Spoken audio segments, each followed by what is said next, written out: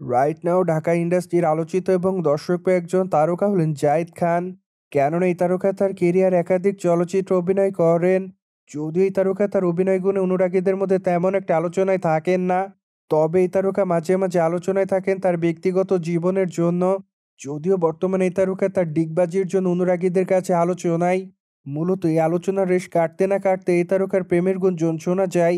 তাও আবার ঢাকায় চলচ্চিত্রের নায়িকা নুসরাত ফারিয়ার সঙ্গে যদিও বিষয়টি নিয়ে বেশি ফালাফালি হওয়ার পর নুসরাত ফারিয়া জানিয়েছিলেন যে, তার সঙ্গে অবশ্য জায়েদ খানের কোনো প্রেমের সম্পর্ক নেই।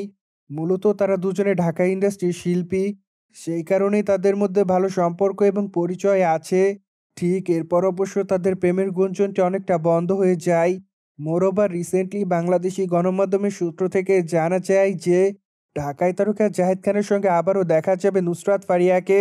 মূলত তাদেরকে কানাডাতে একটি পারফর্ম করতে দেখা যাবে স্টেজে তাই তো অবশ্য সম্প্রতি এমনটাই জানিয়েছেন ঢাকায় চলচ্চিত্রের তারকা জাহেদ খান।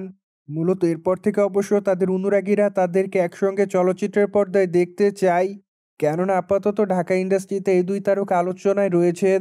সেই সাথে অবশ্য দর্শকরা দেখতে চায় চলচ্চিত্রের পর্দায় তাদের কেমিস্ট্রি কেমন। পায়দয়ে বর্তমানে ঢাকায় তারকা নুসরাত ফারিয়ার হাতে অনেকগুলো প্রজেক্টের কাজ আছে। কেননা আগামীতে তাকে অবশ্য কলকাতা বাংলা চলচ্চিত্র অভিনয় করতে দেখবে তার অনুরাগীরা তাই তো অবশ্য এই তারকা নিজেকে নতুনভাবে তৈরি করছেন বলে জানা যায়।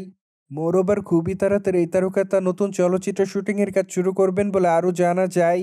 অন্যদিকে ঢাকায় চলচ্চিত্রের নায়িকাকে সর্বদাই সামাজিক যোগাযোগ মাধ্যমে সক্রিয় দেখা যায়। সেখানে অবশ্য এই তারকা তার এভরিডের আপডেট তার অনুরাগীদের মধ্যে শেয়ার করেন। যদিও মাঝে মাঝে বোল্ড অবতারে ক্যামেরার সামনে ধরা দিয়ে আলোচনায় থাকেন এই সুন্দরী, কিন্তু এই নায়িকা সে সকল আলোচনা কিংবা সমালোচনাকে সেভাবে গ্রহণ করে না। কেননা ঢাকায় চলচ্চিত্রে এই তারকা তার ইচ্ছামতো ছবি সর্বদাই সোশ্যাল মিডিয়ায় শেয়ার করেন। সুতরাং যাই হোক, জেনে তো নিলেন, টলিগঞ্জের তারকা নুসরাত ফারিয়াকে দেখা যাবে আগামীতে জায়েদ খানের সঙ্গে। মোরোবার এই বিষয়টি নিয়ে কোনো মতামত থাকলে অবশ্যই কমেন্ট বক্সে জানাতে ভুলবেন না। সেই সাথে অবশ্যই চ্যানেলটিকে সাবস্ক্রাইব করে আমাদের সাথেই থাকুন আপকামিং আপডেট জানার জন্য।